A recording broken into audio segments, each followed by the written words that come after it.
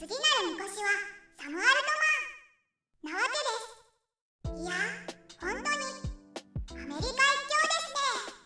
中国も見えないところで見えないイノベーションを起こしてるのかもしれませんが見えてるところで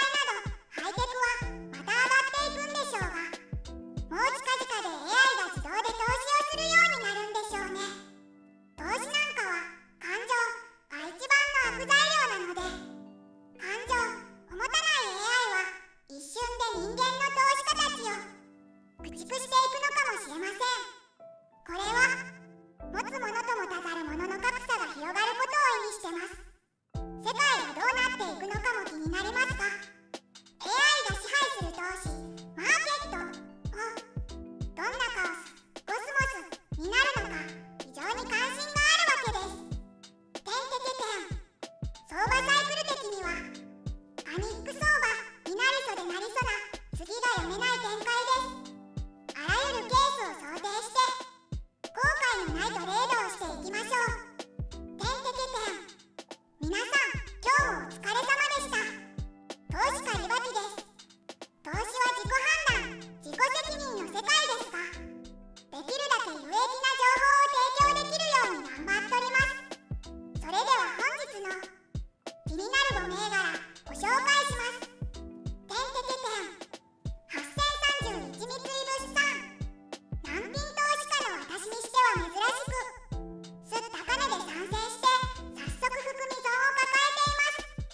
勝者はどうなんでしょうね。